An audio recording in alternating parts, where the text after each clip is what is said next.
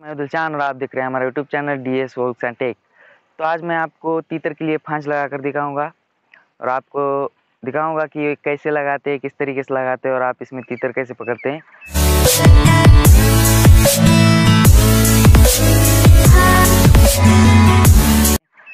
तो मैं आपको फांस दिखाता हूँ। दोस्तों, ये फांस और इसको हमें सर्कल में लगाना है ताकि सर्कल में लगा के इसके अंदर आपको तीतर के खाने के लिए ज्वारी, चावल या आप कुछ भी डाल सकते हैं। तो इससे क्या होगा कि तीतर अंदर खाने के लिए आएँगे लेकिन उन्हें रास्ता कहीं नहीं, दिखाई नहीं देगा। तो ये आपके फांज में से होकर गुजरेंगे और उनका पैर इसमें अटक जाएगा। तो चलिए मैं आपको लगा कर दिखा देता हूँ।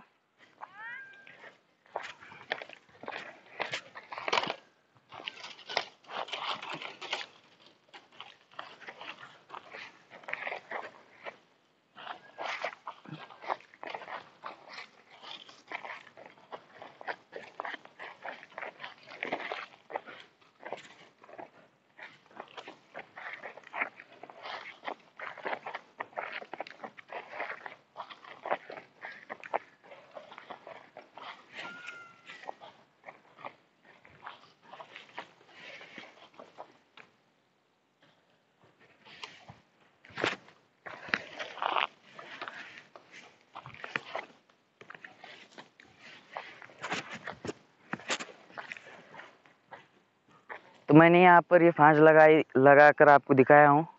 आपको वहाँ से दिख नहीं रहा होगा।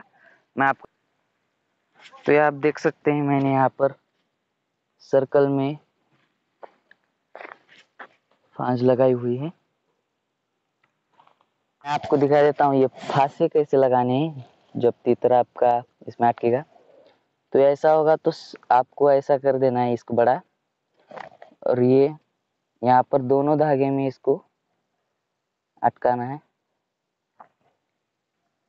और ये इधर से।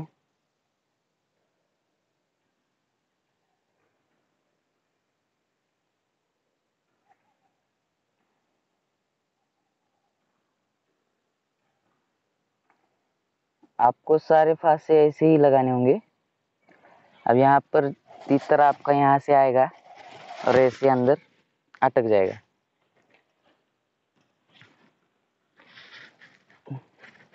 तो मैं यहाँ पर फटाफट सब फांसी लगा कर रख देता हूँ। आपको यहाँ पर और एक चीज़ कर लेना है।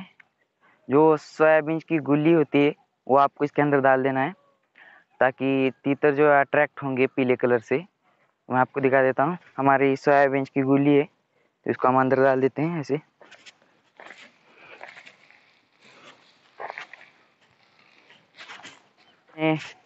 गुल्ली वगैरह डाल दी है। अब मैंने यहाँ पर सब सेटअप कर लिया है तो हम मैं आपको आ, हमारे आगे के आने वाली वीडियो में दिखाऊँगा हमें कितने तीतर मिले इससे। तो इसके लिए हमारे चैनल सब्सक्राइब कीजिए ताकि हमारा आने वाला वीडियो आपको मिलता रहे। Thank you